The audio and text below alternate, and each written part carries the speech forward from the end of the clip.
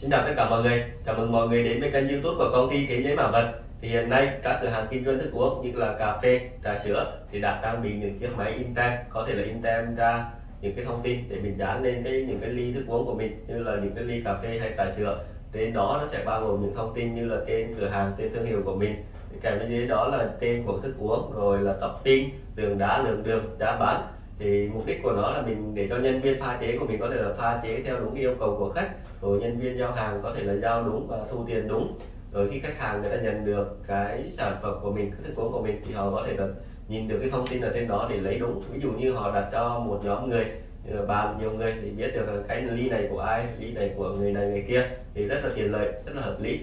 Thì nếu như cửa hàng của các bạn cũng đang tìm một cái dòng máy có thể là in được những cái con tem nhạt để mà dán lên những cái ly trà sữa hoặc ly cà phê đó. Thì em xin giới thiệu với mọi người một dòng máy, đó là Honeywell PC42T thì mọi người hãy cùng em khám phá cũng như là in thử xem về cái chất lượng in của cái dòng máy này để mình có thể là tìm hiểu thêm. Thì đây là dòng máy mà em muốn giới thiệu với mọi người để mình sử dụng trong cái mục đích đó là in những cái con tem nhạt mình có thể là dán lên ly ly thức uống của cửa hàng mình mọi người có thể nhìn sơ qua ha. Đây trong màu màu đen đó. Tại vì đây là dòng máy để bàn nên kích thước khá là nhỏ gọn. Mình có thể là để trong những quầy quầy hàng quầy pha chế của mình. Rất là tiện lợi ha. Đây. Em mở đây cho mọi người xem ha. Đây mọi người có thể là nhìn sơ qua cái chiếc máy này.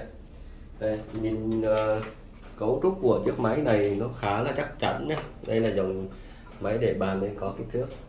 Như này em vừa nói nó khá là nhỏ gọn đây mọi người có thể để ý, đây là cái đầu in của máy, một phần rất là quan trọng.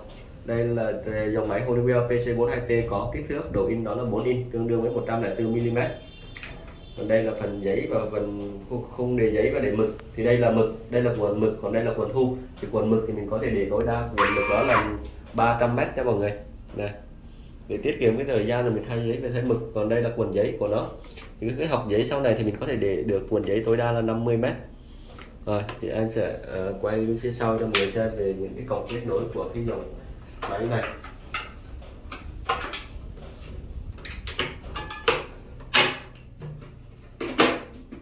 Đây, phía đây là phía sau lưng của máy.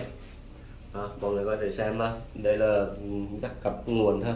Cổng USB này hai cổng USB đây là cổng RS232 con với nhau mọi người đây là cổng len thì đối với những dòng máy để bàn mà có cổng len thì đây là một cái đặc điểm điểm cộng đối với cái dòng máy của Honeywell nha mọi người. Đây dòng máy để bàn có option thêm cổng len này cổng len thì mình có thể là phục vụ trong cả mình là nhiều máy tính. Mình có thể là in một lúc in theo ờ, ờ, uh, uh, len bảng đó thì mình có thể là nhiều máy tính mình in một lúc chứ không nhất thiết là như cổng USB là một máy tính là mình sẽ thấm vào một bên.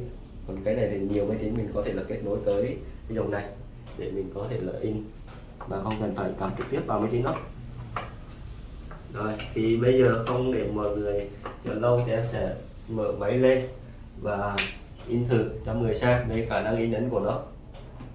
Thì chiếc máy này sử dụng cũng khá là đơn giản, khi mà người mua hàng ở bên công ty thế giới vật vật thì tụi em sẽ hướng dẫn và cũng như là lắp đặt cài đặt cho mọi người để mình có thể là in được con tem mà như mong muốn và yêu cầu của mình. Và trong quá trình sử dụng thì bên em cũng hỗ trợ cho mọi người khi mà có sự cố hoặc là cần thay đổi cái gì đó thì bên em cũng sẵn sàng hỗ trợ cho mọi người để công việc của mọi người có thể thuận lợi hơn. Đây, bây giờ sẽ in thử cho mọi người xem ha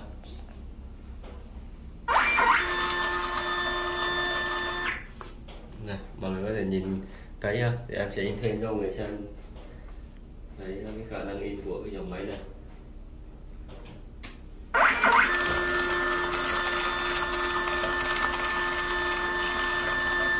Đây mọi người có thể thấy tốc độ in khá là nhanh ha. Tại đây là dòng máy có độ phân giải đó là 203 dpi. Nên thành ra là mà nhưng những cái nét chữ ở trên này nè nó vẫn rất là rõ ràng rất là sắc nét ha. Từ cái tên này giá bán những cái ghi chú như này đá đường hay bao nhiêu phần trăm đá bao nhiêu phần trăm đường giá bán này kia. Sau khi in xong thì mình chỉ cần lột cái này mình dán lên mình lột cái này mình dán lên cái ly trà sữa của mình thôi. Hoặc là ly cà phê của mình thôi. Đó mình giao tới khách hàng. Thì mình, khách hàng người ta cũng nhìn thấy rất rõ những cái thông tin ở trên này cũng như nhân viên của mình cũng nhìn thấy rất rõ những cái thông tin trên này để mình có thể thực hiện cho nó tăng cái cái cái sự ờ, chuyên nghiệp cho cái cửa hàng của mình cũng như khách hàng sẽ cảm thấy thích thú hơn. Để mọi người nhìn lại cái sắc nét cũng như cái đồ nét uh, của cái dòng máy này ra